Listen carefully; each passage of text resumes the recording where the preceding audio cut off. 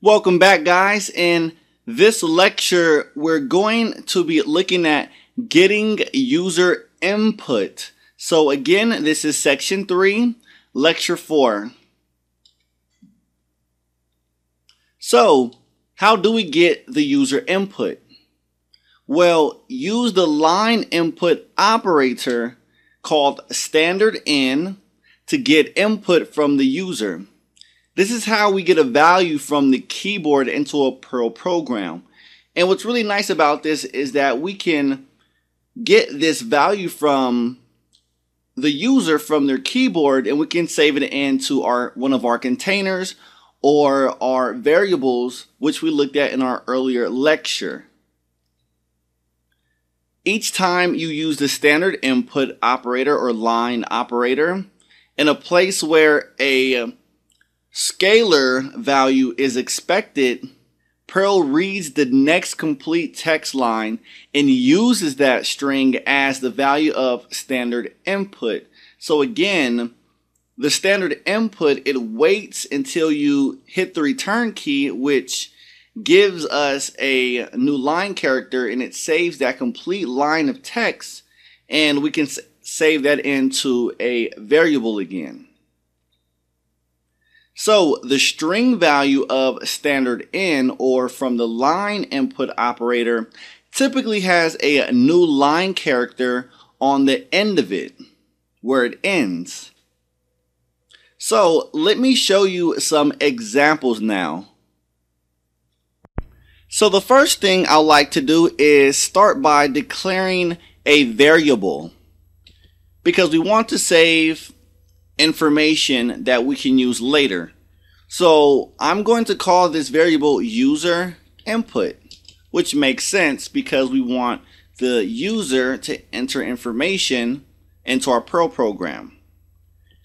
So we, we're going to use the line operator. So we put the less than sign and the greater than sign and inside that pair in all capital letters, we type stdin.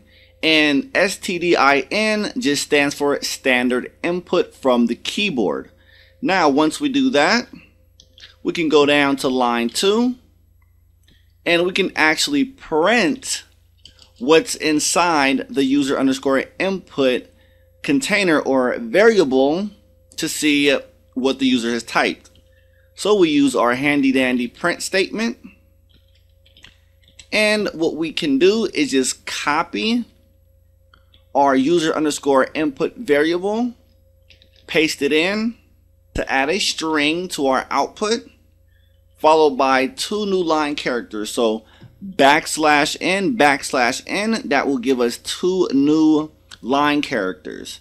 So if we save our information and we click run, click run script, so what we see here that we know it works is that you're going to see a blinking cursor waiting for your input. So Perl is asking you to enter some information. It's going to wait until you enter some information and then hit the return key or enter key. So I'll type my name, Victor Davis, enter the enter button or when I hit the enter button. Look what we have. It reprinted my name. Now, why did it do this? And of course, we have two new lines as well. So the first thing we look at is line one. So for us, or it waits for the user to start to enter some information from the keyboard. And once we hit the enter key or the user hits the enter key, it takes that line of characters or that string on that line and it stores that information inside our user underscore input.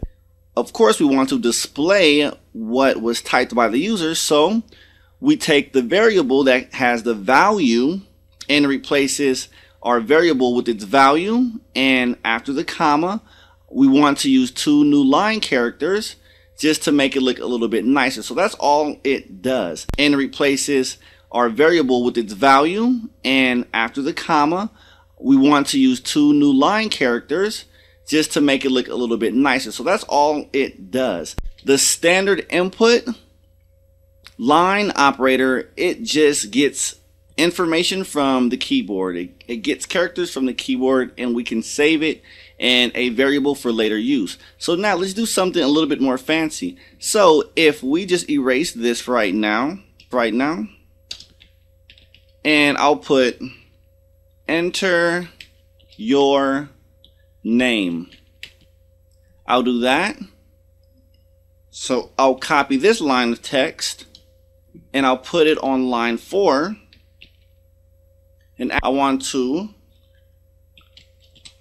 read the person's name. So I'll do this and then I'll add two more double quotes. I'll put your name is space and then after user underscore input I'll put more to lot more new line characters. So backslash n backslash n. Save my work. I'll click run run same to make it look a little bit nicer.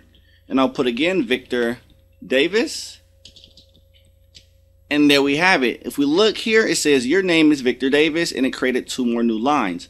So that's in a nut nutshell with standard input. We just get information from the key into a variable and we can nicely print out some output. So again, if you guys have any questions, I hope you guys learned something. That's in a nut nutshell with standard input. We just get information from the key into a variable and we can nicely print out some output.